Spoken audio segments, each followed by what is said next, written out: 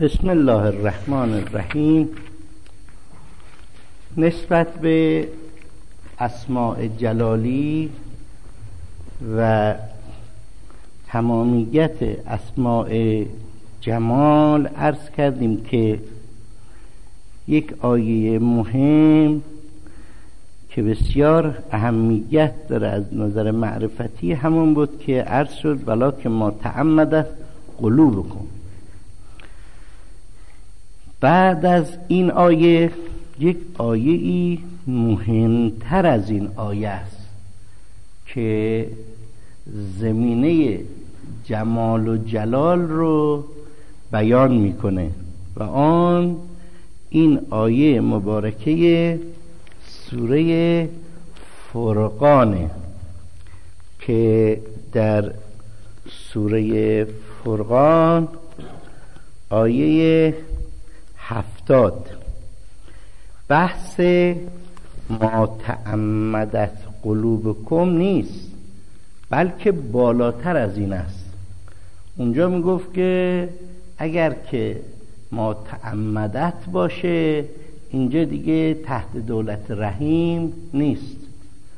اما غیر ما تعمدت عرض کردیم به استفاده و بیان ما حتی اون تعمدهای نفسی حوثات نفسانی اینا رو هم نمی‌گیره. گناهان عادی رو هم نمی‌گیره. چرا؟ برای اینکه فرمود ما تعمدت قلوب کن قلب شاسی جان انسانه. اون گناهانی که ریشهیه اون گناهانی که از سر اناد و الهاد و استکباره. نه کارهایی که از سر حوثات و اینها باشه. اینا تفاوت داره. حالا بالاتر از این رو در سوره فرقان دنبال می‌کنه. و اون چیه؟ میفرماید که وقتی کسی گناه می‌کنه و من یفعل ذالک یلقى اساما یضاعف له العذاب یوم القیامه و یخلد فیه مهانن عذابش مضاعف میشه. ابد داره خاری و خفت داره چنین و چنان داره. ولی الا من تابه اونی که توبه می‌کنه اینطور نیست.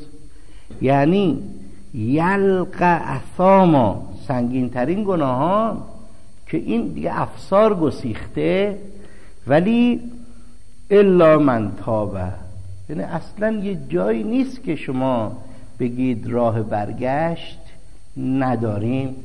حتی در فقه هم این بحث رو داشتیم. حتی بزرگان و آغازمی که نسبت به بعضی از امور بگن اصلا توبه نداره ما یه چنین چیزی نداریم که یک گناهی توبه نداشته باشه اصلا. حتی کفر و شرک و حتی ارتداد قابل برگشت هست و توبه و اینها داره. که حالا بعضی گفتن نداره بعضی گفتن ظاهری باطنی داره. اینها اینا هیچ کدوم اساسی نداره. ما چیزی نداریم که برگشت نباشه. برگشت معنیش اینه که یک گناهی بزرگتر از خدا باشه. و حالی که چیزی بزرگتر از خدا نداریم. وقتی میگیم فینک انتل علی الاعظم دیگه چیزی نیست که بگه برگشت نداره. مکافات و مجازاتش داره.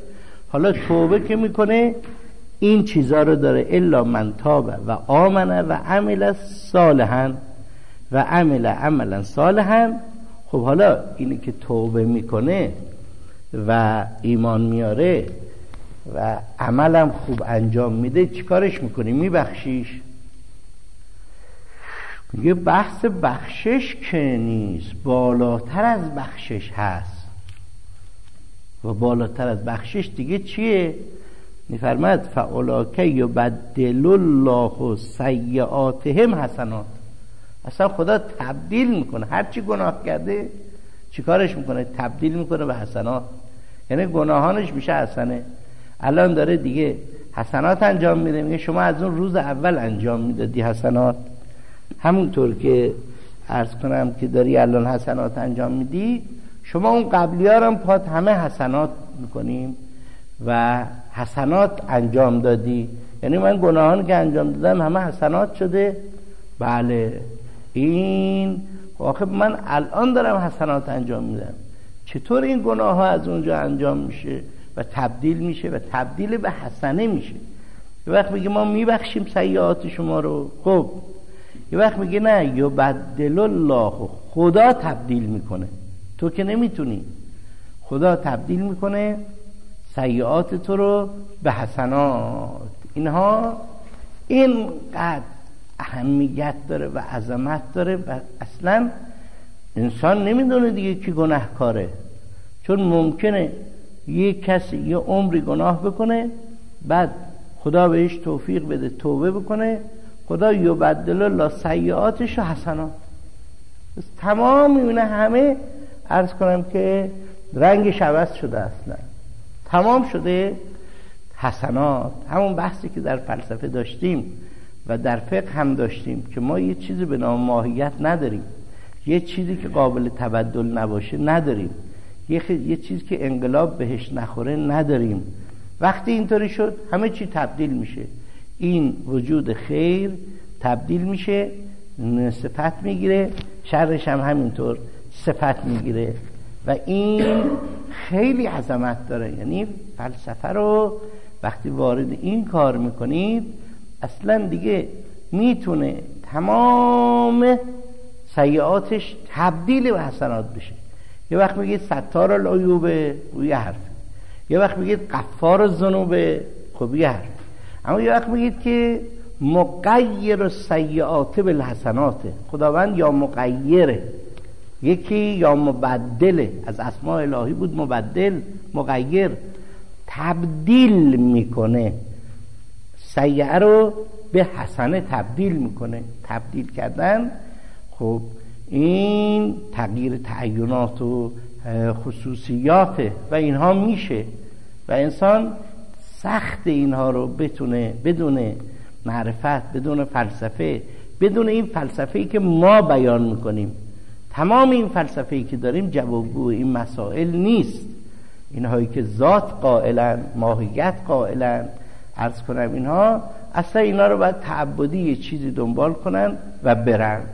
قابل تبدیل نیست. ولی وقتی اینطور میشه این گونه میشه.